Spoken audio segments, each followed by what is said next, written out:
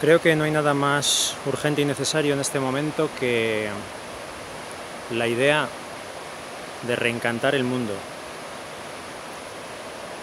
Y ya lo dijo Max Weber, estamos asistiendo a un desencantamiento del mundo progresivo,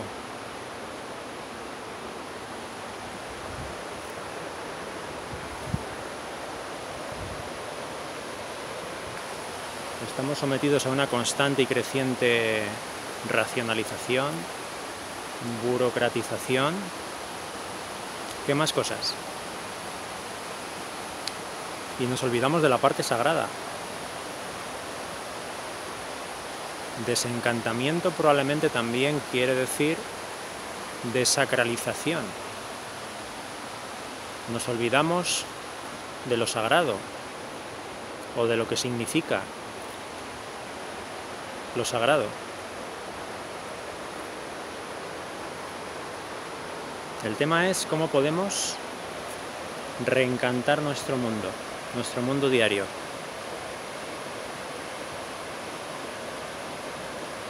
Fijaos este lugar. Es que no me puedo imaginar ahora mismo nada más sagrado que esto. Nada más sagrado que este bosque.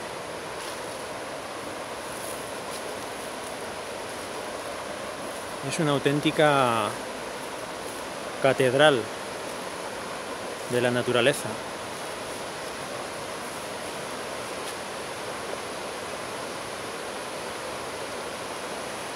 Así que esa es la pregunta. Esa es la pregunta que os lanzo. ¿Cómo podemos reencantar nuestro mundo? ¿Cómo podemos llevarnos a nuestra casa, a nuestro mundo de todos los días, algo de esto, algo como esto.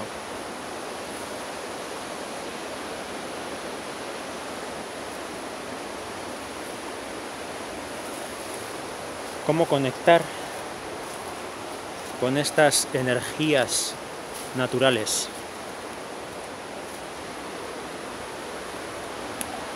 Porque realmente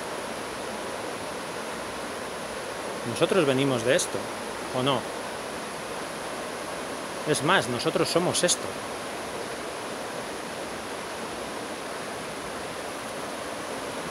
No somos Facebook. No somos YouTube. No somos Instagram.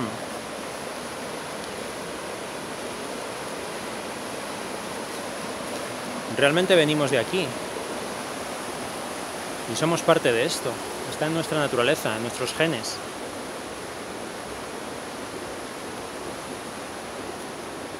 ¿Cómo podemos volver a estar en contacto con esto?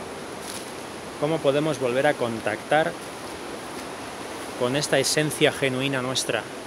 Esta esencia original, esta esencia primitiva. Esta esencia salvaje.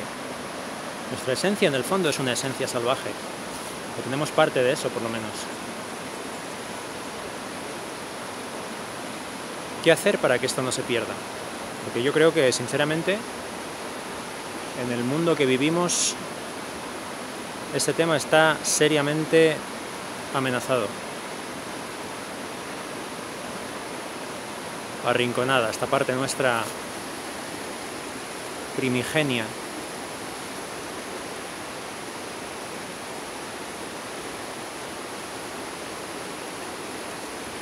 una parte desde la que probablemente surgieron todas las demás, o todo lo demás que tenemos.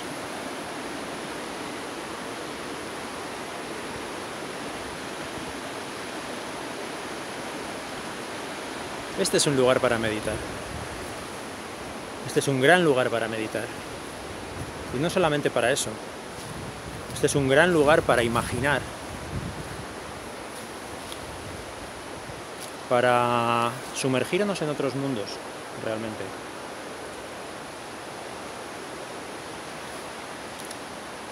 Para soñar también.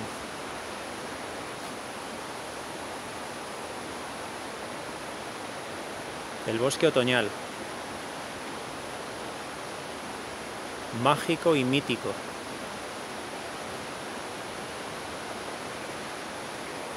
Increíble. Increíble lugar.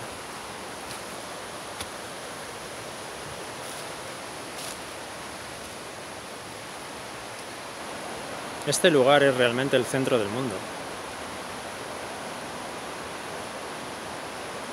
Podría ahora mismo estar en cualquier lugar y en cualquier época. Es lo que tiene el bosque. Tiene algo de atemporal.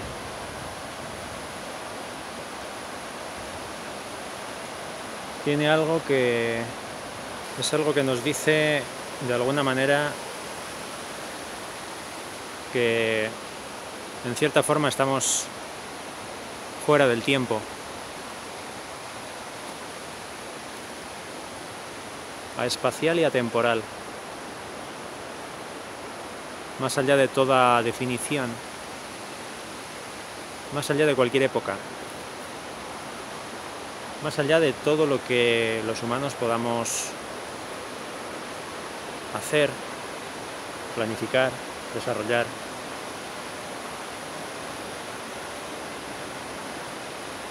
El bosque sigue estando aquí, imperturbable, siempre presente. Creo que es necesario volver a conectar o contactar con lugares como este de vez en cuando. Creo que es una práctica imprescindible, el volver a la naturaleza. Quizás lo que nos quede por ahora, quizás es la única cosa que podamos hacer de momento. Tal vez estando en lugares como este podamos tener ideas o nos surjan ideas de cómo, cómo volver a, retomar el contacto con esto o a que no se pierda definitivamente.